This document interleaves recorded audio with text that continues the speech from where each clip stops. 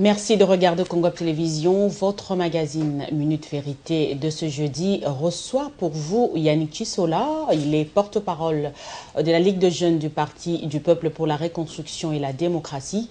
Merci Yannick Chisola d'avoir accepté notre invitation euh, sur euh, Congo Télévision. Merci beaucoup Madame Dora. C'est un honneur pour moi de participer pour la première fois dans cette émission. Je voudrais profiter de vos caméras pour saluer les millions de téléspectateurs de cette chaîne magnifique Congo Web Télévision. Merci Monsieur Chisola. Vous faites partie, euh, comme je l'ai dit tout à l'heure, du PPRD, les plus grands partis de la majorité présidentielle. Euh, Monsieur Yannick Chisola, dites-nous, ça fait combien de temps que vous œuvrez au sein euh, du parti présidentiel? Je suis au PPRD depuis sa création. nous étions des jeunes étudiants dans les mouvements associatifs lorsque le président Kabila s'est décidé de, créer le parti, euh, nous avons adhéré et nous avons implanté le parti. Je me rappelle qu'à l'époque, nous le faisions dans le Katanga avec l'actuel gouverneur euh, Richard Mouyège. Nous avons implanté le parti et nous avons même occupé euh, des responsabilités au Katanga. Moi, j'étais président de la Ligue des jeunes du PPRD dans la ville de Lubumbashi. Et c'est avec ces fonctions que je suis revenu au euh, Kinshasa, où j'ai exercé dans plusieurs cabinets. Mhm. Et euh, le, secrétaire général Henri Mova, euh, qui nous a trouvés en venant de, Bruxelles, nous a élevés au rang de vice-président. Et puis, nous avons été reconduits par le secrétaire Emmanuel Chadari comme porte-parole.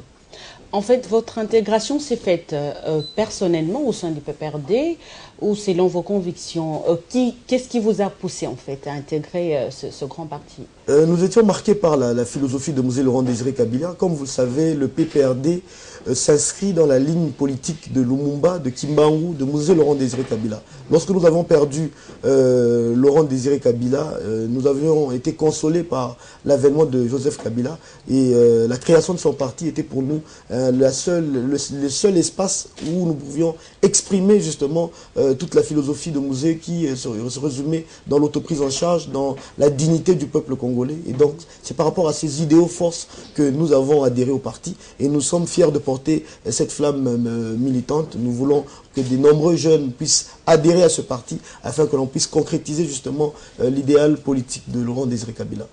Merci, M. Yannick Jussola. Euh, vous avez désormais les responsabilités de votre parti dans la province du Lualaba, où vous venez d'ailleurs de séjourner. quel est votre message principal à la population de ce coin du pays?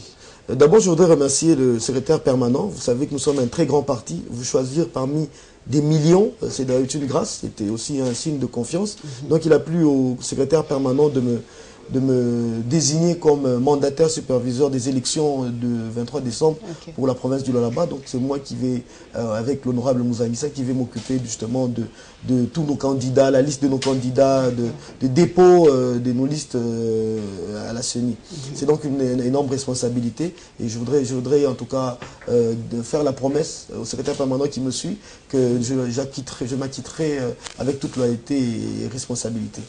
S'agissant de, notre, de, notre, de, la province du Lalaba, je crois que euh, cette province, c'est la province qui va, euh, je l'ai dit, qui va être à la tête des scores électoraux que nous allons euh, faire dans, nos élections à tous les niveaux. Parce que nous avons un comité fort, nous avons un, secrétaire provincial, le gouverneur Mouyège, qui est un chevronné en politique. Et donc nous avons mis des équipes fortes des dirigeants forts à la Ligue des jeunes, à la Ligue des femmes, pour emporter haut la main ces élections. Nous, nous préparons sérieusement pour les élections. Pendant qu'il y en a qui sont en train de chercher le buzz, nous, nous sommes en train de nous organiser. Nous sommes en train de faire des réunions euh, euh, dans les cellules, faire des réunions dans les quartiers, dans les communes, pour pouvoir gagner systématiquement. Parce que nous savons que toute victoire se prépare. Il n'y a pas de victoire euh, qui vienne comme qui tombe du ciel. Et donc, moi, je pense que pour le là-bas, nous avons un défi à relever, c'est celui d'être la locomotive des scores électoraux que nous, nous réaliserons à ces élections.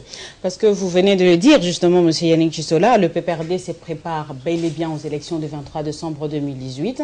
D'ailleurs, c'est visible avec euh, tout ce que le, secrétaire général, le secrétaire permanent, M. Chadari, est en train de faire à travers euh, le pays, ce malgré l'absence du dauphin. Pour vous, M. Chisola, est-ce que Joseph Kabila Kabangé sera-t-il candidat à la présidentielle, oui ou non?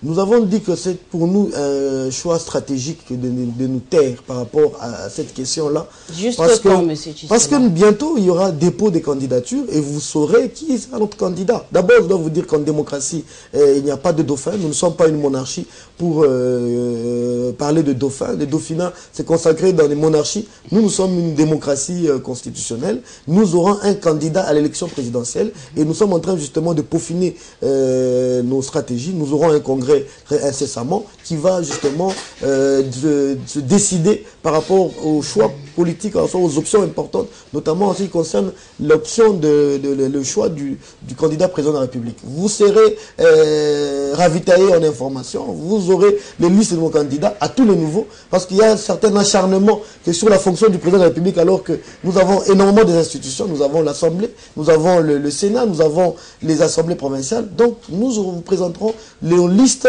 à tous les niveaux et vous serez euh, édifiés, vous aurez l'information. Mais l'impasse persiste justement aujourd'hui au sein de l'opinion. Pourquoi ne pas justement euh, dire euh, le nom du dauphin pour apaiser les esprits?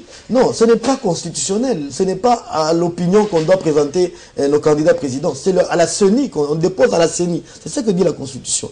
Nous n'allons pas aujourd'hui nous exécuter les, revendications de l'opposition. Nous sommes en train de suivre le match. nous sommes en, plein, euh, en pleine Coupe du Monde de la Russie. Est-ce que avant le match, la France va jouer avec, avec euh, euh, l'Argentine. Est-ce que la France doit exiger à l'Argentine la liste, la composition des joueurs avant le match Non, il faut qu'ils se montent sur le terrain et ils verront avec qui ils joueront. C'est la même chose. Donc l'opposition ne peut pas nous poser à nous la question de savoir qui sera notre ca- candidat, alors que eux-mêmes, nous ne savons pas qui sera leur candidat unique. Ils le disent tout le temps, nous aurons un candidat commun, un candidat commun. C'est lequel? Ils ne l'ont pas, ils pas encore euh, dé- Les dégagé. candidats, c'est pour le peuple, Monsieur Gisola, et non Oui. pour l'opposition, justement. Non, je dis tout simplement que nous allons déposer les candidatures à la CENI. Et la CENI va afficher la liste des candidatures. Parce que la CENI porte, euh, euh, publie les listes des, candidats. Nous, nous voulons euh, garder encore notre joker parce que nous estimons que c'est pour nous un choix stratégique. On ne peut pas, à la télévision, commencer à parler de la stratégie. Parce que c'est d'ici les 23 juillet. Oui, si d'ici les trompe pas. 23. Il reste que quelques semaines, justement. Dans quelques semaines, madame, je serai l'invité de votre plateau et je vous parlerai de notre candidat président de la République. Soyez patient, vous n'avez entendu pendant plusieurs années, il nous reste que quelques jours, attendez et vous verrez le candidat que nous présenterons. Et je vous assure que ce candidat va gagner face à n'importe quel membre de l'opposition. Nous allons gagner parce que nous sommes les mieux organisés, parce que nous sommes préparés et nous prenons au sérieux euh, ce qui se passe. Vous avez vous-même dit que le secrétaire permanent est en train de faire des tournées. Ce n'est pas de la blague. Nous savons déclencher une machine électorale et cette offensive est généralisée. Nous allons remporter dans toutes les provinces parce que nous avons des bons, euh, un bilan, nous avons un programme et nous avons une préparation qui est euh, qui n'a pas de commune mesure. Il y a un diplomate américain, Monsieur Herman Cohen, si je ne me trompe pas, qui fait des déclarations contre Joseph Kabila Kabangé. Est-ce que ces déclarations, vous le prenez au sérieux au niveau du PPRD Nous le prenons. D'abord, nous n'avons pas certifié euh, euh, la- l'authenticité. Ça fait le des- buzz dans les réseaux nous sociaux aujourd'hui. Vous savez, nous, nous ne sommes pas à la recherche du buzz. Il y a ceux qui se spécialisent dans la recherche du buzz. Nous, nous sommes à la recherche de la conservation du pouvoir. Eux, ils resteront dans les réseaux sociaux. Nous, nous serons en train de gouverner. Nous, nous voulons, nous montons des stratégies pour la, la bonne gouvernance, pour la gouvernance démocratique dans ce pays. Le buzz, tout ce qui se passe dans les réseaux sociaux, vous savez, madame, on dit que les réseaux sociaux, c'est quand même une poubelle où tout le monde vient et jette tout ce qu'il veut. Nous, nous sommes en train de prendre au sérieux euh, ce pays. Nous avons la, nous avons la réalité euh, de ce pays. Nous ne sommes pas dans, dans, dans, dans, dans- dans le numérique, euh, je voudrais dire, euh, dans les, des, des, des, des, euh, des espoirs chimériques. Nous voulons, nous, euh, prendre à bras le corps les desiderata de la population. Voilà pourquoi nous nous préparons. Nous voulons présenter un projet qui va faire en sorte que ce projet puisse, encore une fois, nous amener à la magistrature suprême, nous amener à contrôler les assemblées, parce que nous allons faire des réformes importantes pour ce pays. Nous avons tiré les leçons de nos erreurs de, de- depuis 2006. Nous allons les corriger. Voilà pourquoi nous appelons encore à la mobilisation des jeunes qui viennent à notre parti afin qu'ils puissent se porter candidats, afin qu'ils puissent amener la vitalité euh, qu'il est nécessaire euh, de, à booster notre pays. Vous voulez dire que ces déclarations de- d'Herman Cohen ne, ne- ne vous intéressent pas aujourd'hui? seulement Ça ne vous fait pas peur Non seulement qu'Herman Cohen est n'est pas congolais, il ne peut pas s'occuper des affaires, des affaires du Congo parce que les États-Unis ont aussi des sérieux problèmes. Mais aussi, madame, nous, nous sommes des descendants des grands guerriers qui sont tombés armes à la main. Nous n'avons pas peur de la mort. Vous voyez, souvent, nous portons des bérets rouges. C'est pour vous dire que nous sommes des candidats à tout. Nous sommes prêts à tout parce que nous avons, nous, euh, perdu beaucoup de millions de Congolais. Nous avons perdu des héros, nous avons perdu des grands combattants. Et si, pour la dignité et la souveraineté de ce pays, il faut encore que d'autres tombent, nous sommes prêts, nous sommes des candidats. Voilà pourquoi nous portons toujours le rouge pour vous montrer que euh, nous sommes des candidats euh, héros, martyrs de ce pays parce que ce pays mérite mieux que nous traiter comme avant l'indépendance. Nous sommes un pays indépendant et bientôt, de quelques jours, nous allons célébrer euh, notre indépendance. Il faudrait que les Congolais puissent euh, encore se réapproprier euh, la lutte de nos pères de l'indépendance et n'est pas jeter en pâture justement cette dignité parce qu'on voudrait accéder au, pouvoir coûte que coûte. Monsieur Chisola, l'on a annoncé l'arrivée à Kinshasa euh, du secrétaire général des Nations Unies. Dans le réseau social au sein de l'opinion, justement, on parle déjà d'en revoir Joseph Kabila Kabongi. Les rapports de force semblent être à votre désavantage actuellement. Madame, vous savez que nous, nous avons la confiance du peuple. Je ne sais pas si vous parlez des réseaux sociaux, mais vous avez vu, vous voyez les mobilisations, les foules qui, que draine notre secrétaire permanent. Moi, je dois vous dire, madame, sans embâche, parce que je suis témoin, euh, je fais partie par moment de la délégation du secrétaire permanent. Il existe aujourd'hui dans ce pays une sorte de Kabila mania. Kabila est aujourd'hui comme du vin. Plus il dure, plus il devient succulent. Aujourd'hui, partout, quand vous allez au Bas-Congo, vous allez à l'Équateur, vous allez dans l'espace Katanga, les gens crient Oumela, les gens crient Chikata, les gens disent Zidi. Kabila, aujourd'hui, euh, est, devenu euh, une euh, idole vivante justement de, la politique congolaise. Et donc c'est très important de, comprendre que on ne peut pas aujourd'hui traiter un homme qui a encore qui encore qui est encore porté dans le cœur des Congolais comme si il s'agissait d'un moins que rien. D'ailleurs, qu'il n'y a pas de moins que rien dans la Constitution. Tous les citoyens ont droit à un respect. Et donc je pense que par rapport à cela, il faudrait que l'on considère que Joseph Kabila est quand même le père de, de la démocratie congolaise et le pays lui doit des hommages et non euh, euh, ce que nous, malheureusement, ce que nous constatons par quelques citoyens euh, qui sont en panne d'éducation carrément. Monsieur Yannick Chisola, parlons élection. Le président de la CENI, Corneille Nanga, tient mordicus à la machine à voter. Euh, pourtant rejeté euh, aujourd'hui par l'opposition politique congolaise et d'autres parties prenantes à l'accord.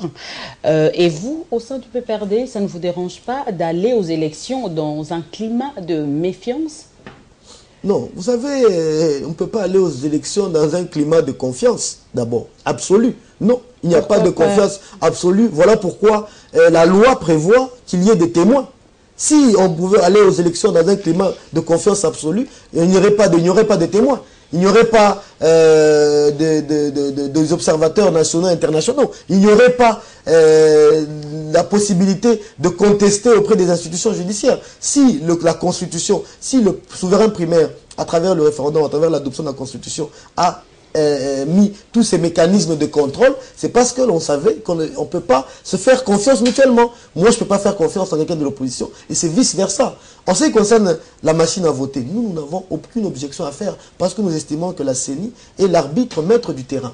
La CENI nous a proposé cet instrument qui n'est qu'un instrument de bureau. La machine à voter, en fait, c'est une imprimante. C'est comme le papier du bureau, c'est comme les stylos qu'on utilise dans un bureau de vote. Ça n'a rien à voir avec le vote qui se fera dans les urnes. Et moi, je pense que par rapport à ça, nous n'avons euh, nous n'avons soulevé aucune objection par rapport à cela. Et nous voulons aussi rappeler que, en fait, les tergiversations de l'opposition ne nous étonnent pas. En 2006, vous savez que l'opposition avait refusé de participer aux élections. Elle avait même boycotté les élections. Je parle de l'UDPS. En 2011, ils avaient soumis beaucoup de conditionnalités. Mais nous sommes quand même allés aux élections. Aujourd'hui, nous n'organisons pas les élections pour l'opposition. Nous organisons, nous organisons les élections pour le peuple congolais parce que le peuple réclame les élections. Si nous étions en train d'écouter tout le temps ce que dit l'opposition, nous n'aurions jamais eu les élections dans ce pays. Parce que l'opposition, en fait, qu'est-ce qu'elle veut? Elle veut le partage équitable et équilibré. Vous avez vu euh, les opposants aujourd'hui qui,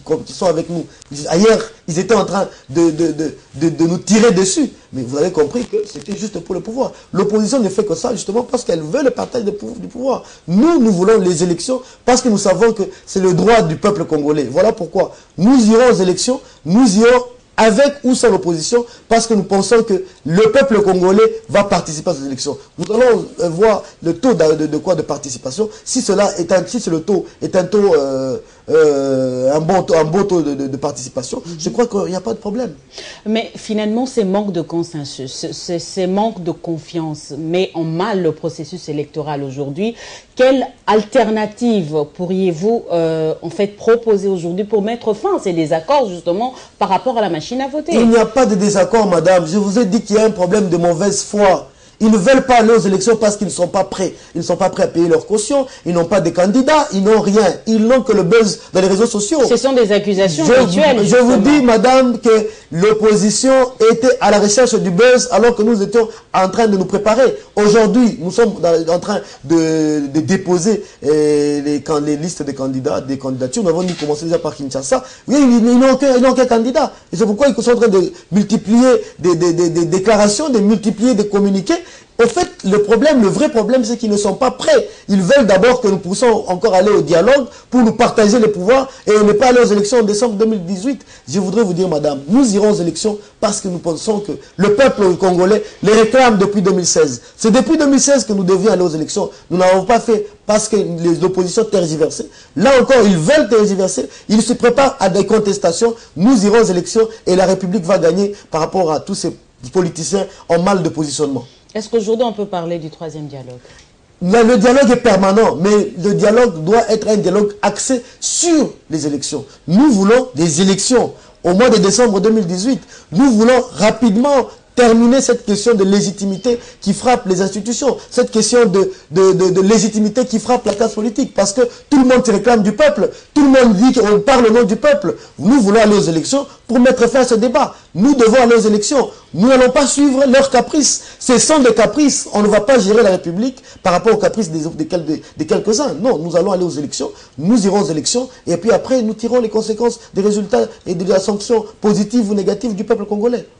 Aujourd'hui, la 19e euh, tribune d'Adolphe Mouzito euh, relève que le kabiliste ont trois plans pour s'éterniser au pouvoir. Un, Mouzito a cité la tricherie aux élections.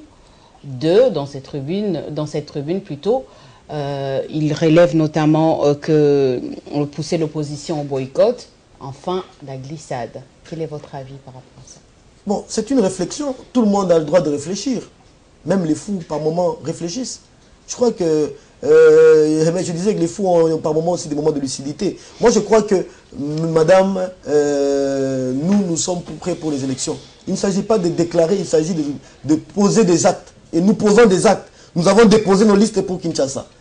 Nous avons déposé nos listes pour la ville de Kinshasa. Vous m'avez présenté comme mandataire, superviseur des élections pour la province du Lalaba. Madame, demain, je prends mon avion pour aller justement au Lalaba, déposer la liste des, candidats euh, au Lalaba pour les élections provinciales. Et lorsque nous allons, euh, nous, arriverons, à la date des dépôts des listes euh, des députés nationaux et présidents publics, vous nous verrez nous déployer. Nous n'allons pas aujourd'hui suivre tous ces bruits qui voudraient nous amener dans la distraction. Toutes ces, réflexions bidons, c'est pour nous distraire, qu'il se prépare pour les élections. Mouzito voudrait être candidat président, qu'il attend le jour du dépôt, qu'il pose sa candidature. D'ailleurs, on ne sait pas le situer s'il est doux, parce que finalement, euh, madame, ils ont, euh, ils sont, euh, ils ont aujourd'hui comme un, un accro, ils sont devenus accro au buzz. Tout ceci, c'est du buzz. Ils veulent euh, que ça se parle dans les réseaux sociaux. Mais nous, madame, nous ne sommes plus dans le, dans, dans, le buzz. Nous, madame, nous, nous sommes dans la réalité. Nous ne sommes plus dans le monde virtuel. Ils vivent dans un monde virtuel. Nous, nous vivons dans la réalité, où nous déposons, où nous payons nos cautions, où nous, nous, nous, formons nos candidats. Nous sommes dans le monde de la réalité. Eux, ils sont dans le monde de la virtu, virtuel, qu'ils restent dans le virtuel, et nous, nous continuerons dans la réalité. Aujourd'hui, le corps électoral est certes euh, déjà convoqué par la CENI, mais est-ce que vous ne pensez pas que la CENI devrait prendre en compte euh, les conditions de, partis politiques de l'opposition, justement pour apaiser... C'est quelles conditions, madame? C'est quelles conditions Ils veulent la garantie, justement, des élections et ils veulent élaguer la machine à voter. Mais la garantie des élections, madame, c'est l'affectation des témoins. Est-ce qu'ils même, ils forment même d'abord leurs témoins? Quelle est la garantie notre garantie si ce n'est que euh, l'affectation des témoins Ayez des témoins dans tous les bureaux de vote? Préparez vos listes. Préparez euh, euh, vos, votre caution. Quelle, quelle autre garantie? Préparez aussi vos avocats au cas où il y a contestation dans telle ou telle autre circonscription. Quelle autre garantie va leur donner? Nous avons, depuis l'accord dialogue intercongolais, nous nous sommes convenus que nous irons, nous, nous le pouvoir désormais par la voie des urnes et non par la rue et non par la force. C'est ce que nous sommes convenus. Et la voie des urnes, ça veut dire les élections. La machine à voter, madame, je vous ai dit, c'est quoi? C'est une, imprimante de bulletins de vote personnalisée. Ce n'est que ça, madame. Ils veulent aujourd'hui euh, que l'on puisse euh, tourner autour des futilités. Bon, finalement, on risquera à discuter sur les, papiers dans le bureau de vote. Nous discuterons sur les stylos dans le bureau de vote. Parce que c'est une, une imprimante, madame. Ça, ça, nous permet juste de pouvoir, en un peu de temps, retrouver le, votre candidat, l'imprimer et aller voter. Ce n'est pas la machine qui vote, c'est nous qui votons. C'est nous le peuple. C'est les citoyens qui votent. Alors il ne faudrait pas qu'on commence à philosopher. Hein. le temps qu'il passe à philosopher sur la machine de, à voter, il devait le consacrer à la préparation justement des élections. Malheureusement, ils vont continuer à philosopher et nous allons continuer à diriger. Merci, M. Yannick Tissola. Euh, vous êtes vous-même candidat à l'élection euh, à la députation provinciale. Aujourd'hui, est-ce que vous êtes convaincu de votre victoire? Madame, d'abord, je voudrais dire que j'ai manifesté mon intention euh, de me porter candidat à la députation nationale, mais mon parti n'a pas encore entériné. Euh, nous sommes en train de finaliser, je crois d'ici ce soir, nous sommes en train de finaliser euh, les, listes parce que vous savez bien, madame, qu'en tant que vice-président de la Ligue des jeunes, j'ai eu à circuler dans beaucoup de, de, territoires, dans beaucoup de villes. Les jeunes me réclament partout les jeunes me réclament euh, au là-bas, d'autres me réclament dans le territoire de le, dans le Haut-Katanga. Je crois que le parti qui me connaît depuis ma jeunesse, le parti va m'orienter euh, par rapport à mes, mes, ambitions initiales. Je me suis porté candidat dans le territoire de Kambov, euh, dans le Haut-Katanga, mais le parti jugera. Nous sommes chez nous des démocrates. Il y, aura, il y a des discussions qui sont en train d'être faites et je crois que finalement, ce sera le parti qui va décider sous le sort de nous tous. Lors de votre séjour dans la province du Lualaba, vous étiez euh, là en tant que porte-parole ou en tant que candidat provincial? Non, j'étais là en tant que euh, porte-parole de la Ligue des jeunes parce que nous avons restructuré le parti. Et moi, j'étais euh, affecté, justement par la province de là-bas pour préparer la nouvelle restructuration, mais aussi pour préparer l'arrivée du secrétaire permanent parce que nous avons, comme je l'ai dit, déclenché une offensive généralisée dans toute la République. Nous allons, une offensive généralisée, je parle bien par rapport à la bataille électorale. Euh, excusez-moi pour les termes militaires que j'emploie, en fait, c'est parce que nous sommes en train, nous avons maintenant un esprit euh, euh, guerrier parce que nous voulons à tout prix gagner ces élections et nous voulons le préparer. Et voilà pourquoi nous étions là, nous avons restructuré le parti. Aujourd'hui, le parti a des structures fortes au Lualaba. Voilà pourquoi je peux vous dire, avec la seule province de Lualaba, nous sommes capables de réaliser le seuil parce que nous avons implanté, nous avons consolidé, nous avons fidélisé nos membres et les membres n'attendent qu'une chose, c'est la convocation de, euh, les, élections du 23 décembre pour encore euh, confirmer notre suprématie euh, dans le milieu politique. Et aujourd'hui, M. Yannick Kissola, quelles sont vos principales ambitions dans la carrière politique que vous aviez embrassée? La première ambition, comme je vous ai dit, c'est porter, porter la parole du peuple. J'étais porte-parole des structures du parti. Je voudrais maintenant être porte-parole de, du peuple congolais. Et vous savez que euh, pour mieux exercer cela, il faudrait le faire dans les assemblées. Et voilà pourquoi j'ai manifesté mon intention. Je crois que le peuple me fera confiance au moment venu parce que nous ne sommes pas encore en campagne. Et euh, voilà, donc euh, je voudrais bien, avec beaucoup de passion, me faire l'avocat du peuple parce que je pense que nous défendons des bonnes causes. Je ne mets pas de côté toutes les observations faites par le peuple justement par rapport à mhm. notre gouvernance, par rapport à notre notre direction politique, mais je crois que nous allons tirer les erreurs du passé, les leçons des erreurs du passé pour ne plus commettre d'autres erreurs, pour ne plus commettre les mêmes erreurs, afin que le peuple congolais soit servi et afin d'être vraiment des serviteurs du peuple.